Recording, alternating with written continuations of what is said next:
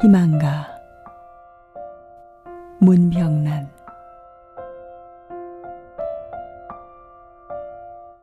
얼음장 밑에서도 고기는 헤엄치고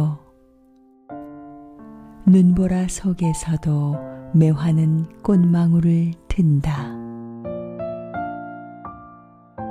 절망 속에서도 삶에 끈기는 희망을 찾고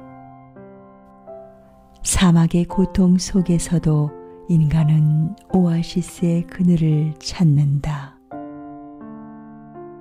눈 덮인 겨울의 밭고랑에서도 보리는 뿌리를 뻗고 마늘은 빈점에서도 그 매운맛 향기를 지닌다.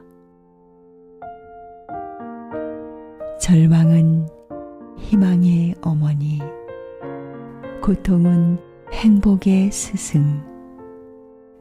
시련 없이 성취는 오지 않고 단련 없이 명검은 날이 서지 않는다. 꿈꾸는 자여, 어둠 속에서 멀리 반짝이는 별빛을 따라 긴 고행길 멈추지 말라.